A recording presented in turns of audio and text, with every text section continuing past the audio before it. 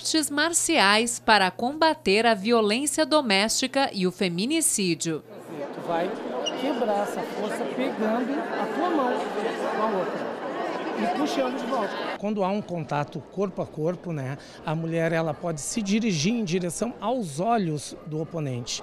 Os dois polegares da mulher, ela pode pressionar os olhos do oponente, no caso de uma situação bem vulnerável que ela já está ao solo. Esta aula de defesa pessoal para mulheres vítimas de violência foi dada no lançamento da campanha Todos por Elas, uma parceria do Poder Judiciário com a Federação Gaúcha de Artes Marciais Mistas.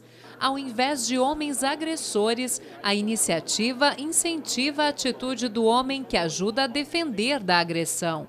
O lema é: quem luta não briga, somos da paz. Dizer que não, que às vezes o homem que luta, que busca as artes marciais, como se fosse futebol ou basquete, é um homem que também ele tem uma certa tem disciplina, tem respeito, tem a questão do equilíbrio físico, equilíbrio mental e que esse homem uh, pode se unir a nós né, nesse combate da violência doméstica. A taxa de feminicídios no Brasil é a quinta maior do mundo. São assassinadas em média 13 mulheres por dia no país.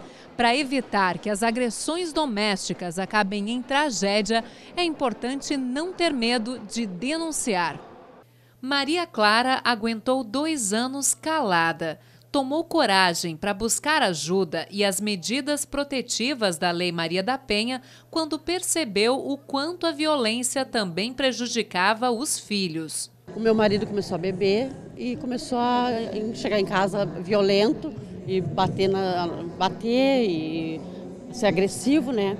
Daí eu fui pedi para ele ir embora, ele não quis, daí eu fui na delegacia, fiz uma ocorrência. Qual foi a gota d'água para que você buscasse ajuda? Foi quando a minha filha estava estudando na, no colégio, que ela perdeu o ano, ela rodou por motivos psicológicos de, de, da violência dentro de casa. Denuncie, denuncie e procure ajuda. Não deixe a violência tomar conta. Denúncias de violência contra as mulheres podem ser feitas pelo telefone 180.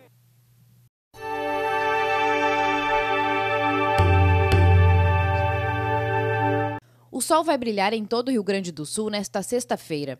Com a subida das temperaturas, a tarde será mais quente quando comparada aos dias anteriores. As máximas mais altas devem ocorrer nas regiões oeste e noroeste do estado. Na capital, num bonito dia de primavera, mínima de 14 e máxima de 30 graus. Em Itaqui, na fronteira oeste, os termômetros vão marcar entre 13 e 32 graus. Já em Faxinal do Soturno, na região central, a mínima foi de 14 e a máxima irá alcançar os 33 graus.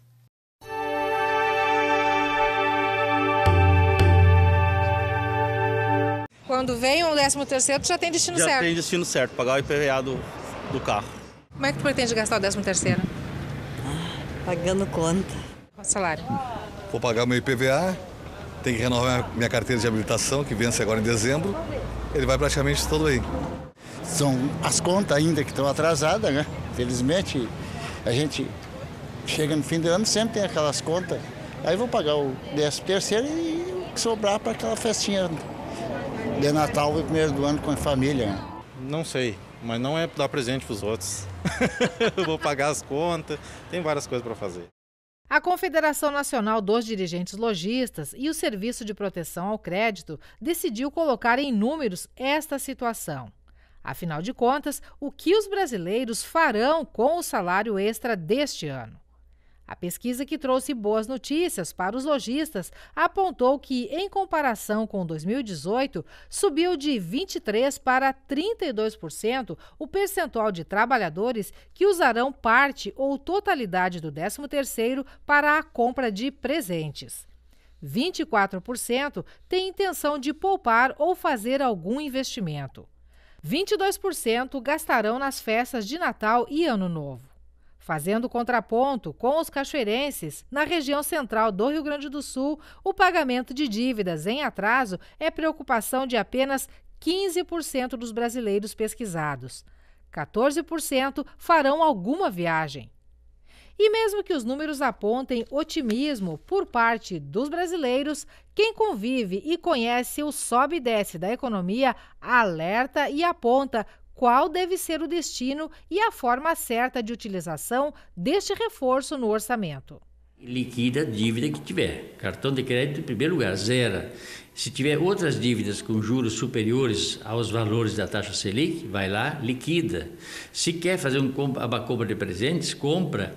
É, se, de preferência à vista, porque tem o dinheiro, exige o pagamento. Quanto dá de desconto? Se dão 5% de desconto, é importante pega à vista.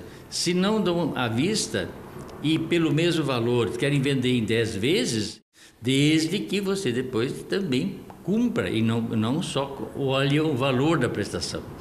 Que tem muitas pessoas que fazem compras no Natal e olham só o valor da prestação. Aí compra 50 reais aqui, 30 lá, 40 lá, no outro 100 quando vê, está todo o salário comprometido e aí se aperta, ainda temos um ano de aperto. Então é bom também provisionar.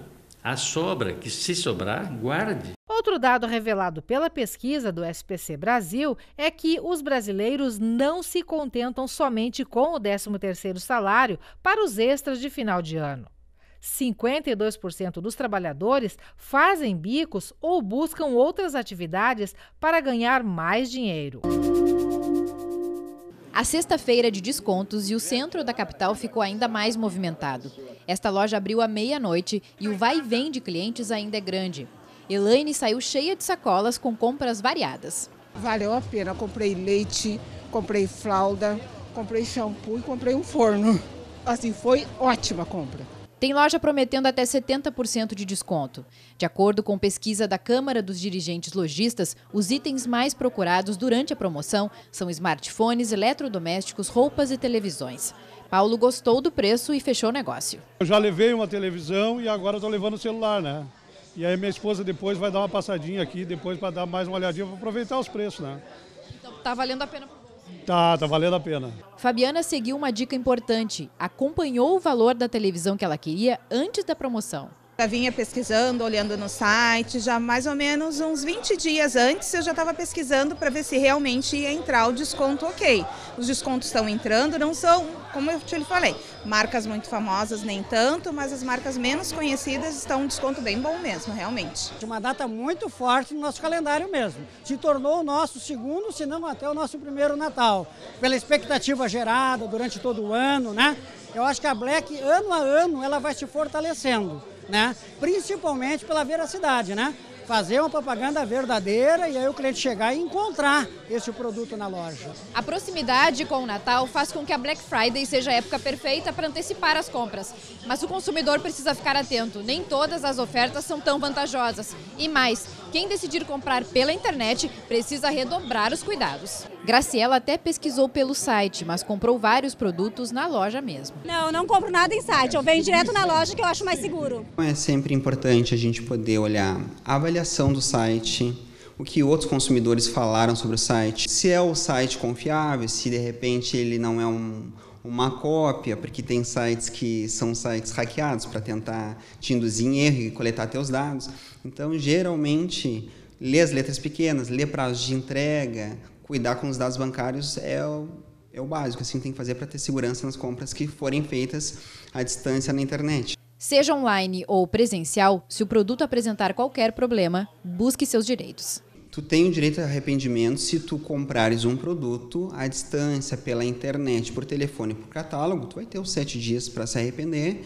E diferentemente disso, se tu comprar o produto na loja, tu vai ter sim a oportunidade de substituir desde que tenha um defeito e esse defeito não seja reparado no prazo legal. Então, mas comprando pela internet, mesmo que a loja diga que não tem troca, que não tem substituição, tu és amparado pelo Código de Defesa e Proteção ao Consumidor.